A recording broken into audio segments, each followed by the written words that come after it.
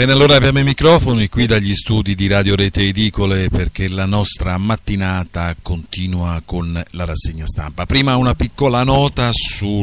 prossimi, sui prossimi collegamenti, sulle prossime programmazioni che abbiamo nel palinsesto. Questa mattina alle 10.40 ci collegheremo con un comitato di lotta a Roma contro una speculazione edilizia nelle bellezze archeologiche della capitale a sud, e cioè nella zona eh, dell'Appia, a ridosso proprio della via Appia antica, nella zona del Divino Amore, dove appunto ci sono oh, tanti reperti archeologici ancora sotterrati, eh, i vari eh, comuni hanno dato il via a delle speculazioni edilizie, molti cittadini si stanno opponendo a queste autorizzazioni. Sentiremo appunto dalla viva voce eh, di un rappresentante del comitato che cosa sta accadendo in piena area archeologica a Roma.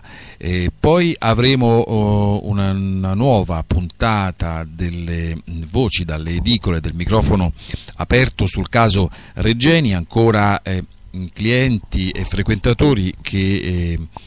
hanno lasciato la loro testimonianza all'edicola eh, di Lucia a Modena e di Isabella a Bologna. Quindi sollecitiamo anche le altre edicole a seguire questo esempio perché stanno arrivando eh, diversi contributi. E a mezzogiorno, dopo avere come al solito dato un'occhiata alle notizie eh, sul, che arrivano dal mondo eh, dell'editoria, a mezzogiorno avremo il collegamento con il Sinaggi di Ravenna. Questa volta eh, non avremo eh, Baroncioni il segretario, ma un edicolante, Tatiana, che appunto ha deciso eh, di dire la sua su parecchie mh, cose, su parecchi elementi di questa attività, soprattutto quello che riguarda gli editori. Sentiremo appunto eh, a mezzogiorno eh, in collegamento diretto eh, Tatiana. Bene, noi andiamo avanti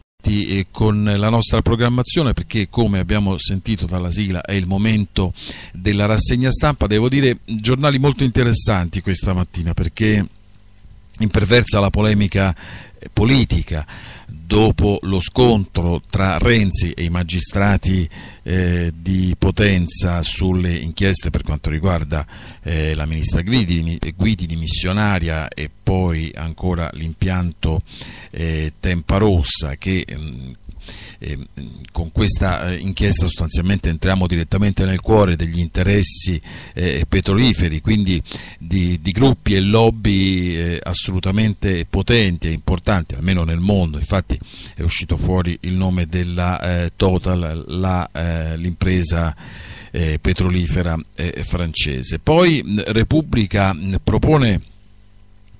una, un inedito, uno scoop, una lettera anonima sulla vicenda del caso Reggeni in cui si accusano direttamente i vertici egiziani e come riscontro nella lettera, poi leggeremo alcuni passi eh, importanti del, dell'articolo eh, che compare a pagina 3 di Repubblica, eh, nella lettera vengono forniti degli elementi di riscontro che ne eh, rafforzano l'autenticità. Poi eh, altri, altri, argomenti, la, i Panama Papers, eh, ancora stanno uscendo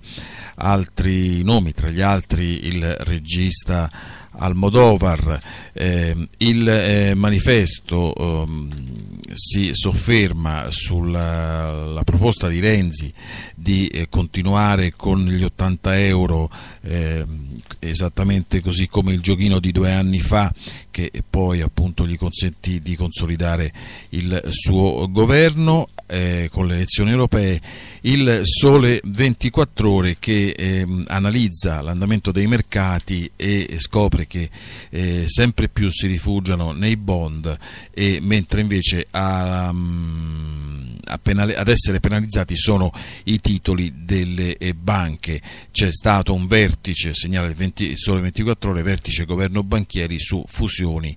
e ricapitalizzazioni. Ma vediamo appunto i vari titoli di apertura, cominciando come di consueto dal fatto quotidiano. Altra marchetta del governo a Mister Guidi è il titolo eh, del fatto quotidiano, che cosa, che cosa vuole significare, è scritto nella nel sommario nell'occhiello, un mare di petrolio e gas, la firma dell'ex ministro e l'affare del suo compagno, la trama dei favori, da una parte il decreto del Mise, dall'altra il piano per stoccare milioni di barili in, eh, in, Sicilia. Era appunto l'idea questa di eh, Gemelli, di Geluca Gemelli di ehm, stoccare il petrolio fino a, quanto, fino a quando non, avre, eh, non fosse aumentato di prezzo. E poi ancora pericolo tumori, il NOE sequestra le cartelle cliniche in Basilicata, l'abbiamo sentito anche dai titoli del nostro giornale, si rischiano tumori 300 volte in più, scrive nelle pagine interne il Fatto Quotidiano. Il NOE, cioè il nucleo dei carabinieri, sequestra referti e cartelle cliniche in tutti gli ospedali della Basilicata il Premier annulla la visita a Matera eh, c'è una sostanziale potenzialità degli impianti di